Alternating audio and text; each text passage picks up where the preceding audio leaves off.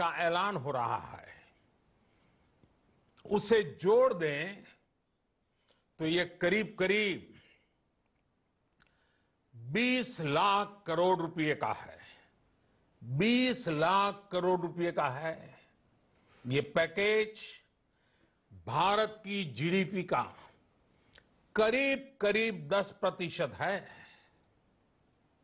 इन सबके ज़रिए देश के विभिन्न वर्गों को आर्थिक व्यवस्था की कड़ियों को 20 लाख करोड़ रुपए का संबल मिलेगा, सपोर्ट मिलेगा।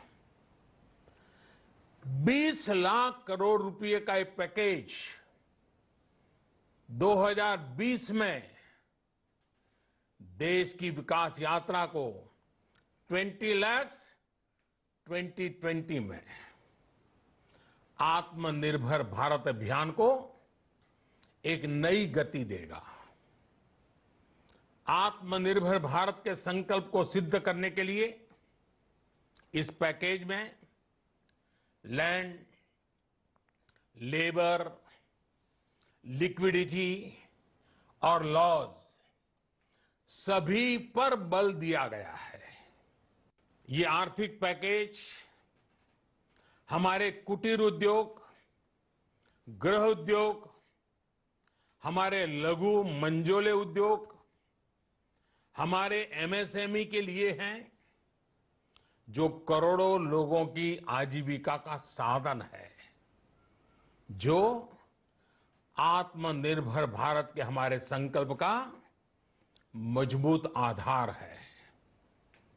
ये आर्थिक पैकेज देश के उस श्रमिक के लिए हैं, देश के उस किसान के लिए हैं, जो हर स्थिति, हर मौसम में देशवासियों के लिए दिन रात परिश्रम कर रहा है। ये आर्थिक पैकेज हमारे देश के मध्यम वर्ग के लिए है, जो ईमानदारी से टैक्स देता है। देश के विकास में अपना योगदान देता है।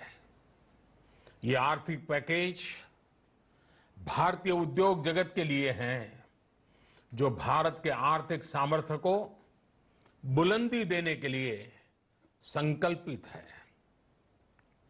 कल से शुरू करके आने वाले कुछ दिनों तक वित्त मंत्री जी द्वारा आपको आत्मनिर्भर भारत अभियान से प्रेरित इस आर्थिक पैकेज की विस्तार से जानकारी दी जाएगी।